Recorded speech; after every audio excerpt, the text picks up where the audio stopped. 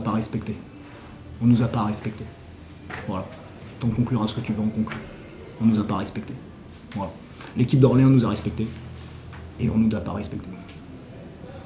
Voilà. Ce soir, tu vois, on fait. On fait euh, on, on- voilà, on produit du jeu. On produit du jeu. On a, on a manqué d'efficacité. On a eu un paquet de tirs ouverts. On a manqué d'efficacité sur certaines situations. Eux ont mis des tirs difficiles. Eux ont mis des tirs difficiles. Il n'y a rien à dire. On, le sait. On sait que c'est une équipe qui, euh, qui brille par le talent individuel. Voilà.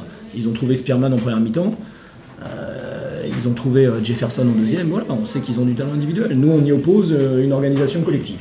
Ben, voilà. Voilà. Aujourd'hui. Aujourd'hui, Orléans mérite, sur, la deuxième mi-temps, il mérite sa victoire.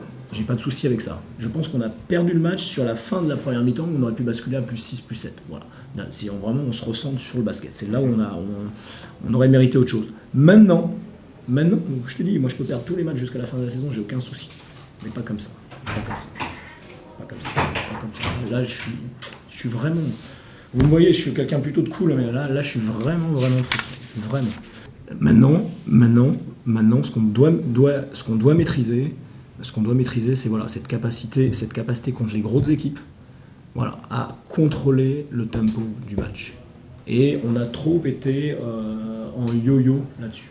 Il y a ce qu'on appelle un, voilà, un, rythme de match. Et ce rythme de match, on doit vraiment le contrôler. Voilà, sinon on prend. C'est la vie, c'est le basket. Next game.